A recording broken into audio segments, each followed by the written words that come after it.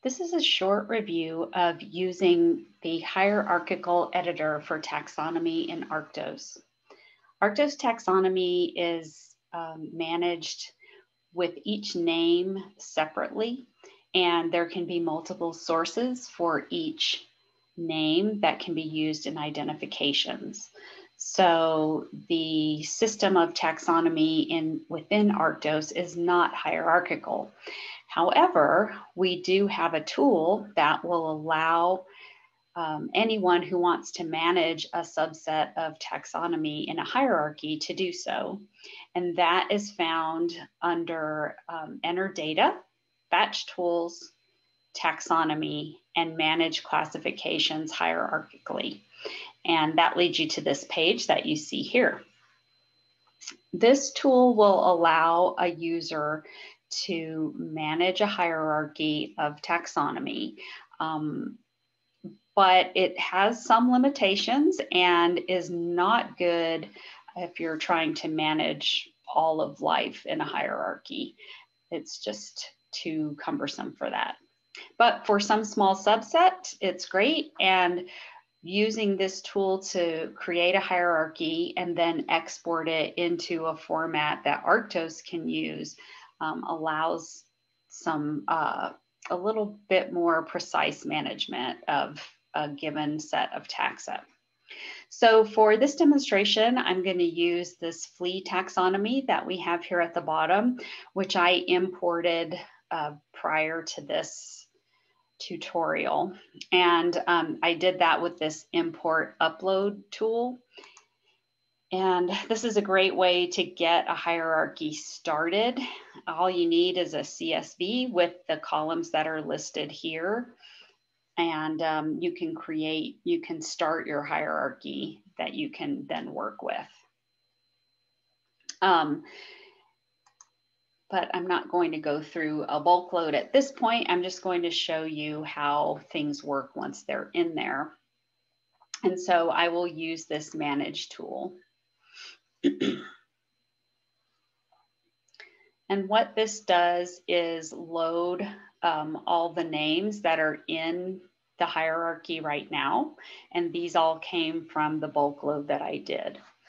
And you can see there's the top of the hierarchy kind of is right here, um, but we have a bunch of names that are that have fallen out of the hierarchy for various reasons. Um, most of these are because there's some kind of misspelling or the parent taxon is missing. And um, so they kind of just fall out on their own and need to be put into the right spot. So one thing I will do is um, by double clicking any of these, you can open up the hierarchy.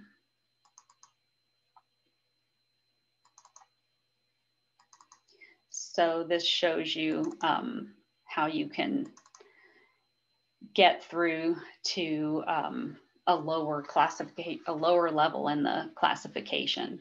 And um, try to figure out where these things belong. Um, once you know where something belongs in the hierarchy, you can just drag and drop it wherever you want it. Um, and that'll put it in its right spot. You can also um, remove things from here. So clicking any one of these little checkboxes will show you the details for that specific name. So in this case, um, this name is ranked as a species. Um, it has an associated author text, nomenclatural code, and source authority. Um, you can also add to it um, several other non-classification kind of terms.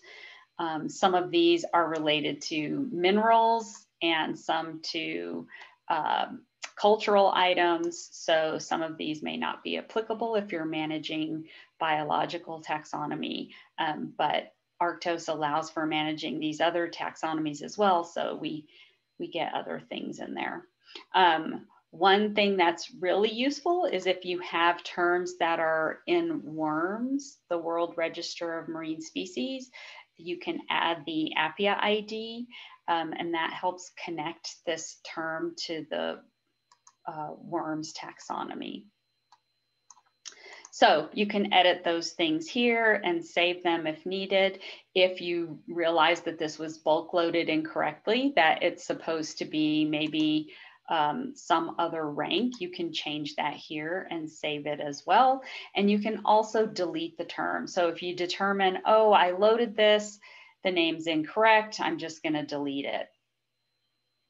Um, and you can also assign it to a new parent from here instead of using the drag and drop or create new children for it. So if this um, species were um, separated out into several new subspecies, you could add those um, using this create new child term button at the bottom. So that allows you to um, individually edit and maintain these terms as well. So this is how the system works now. We've definitely discussed some add-ons that would make it work better. Um, for one thing, being able to open up a whole hierarchy without a whole bunch of double clicking would be nice.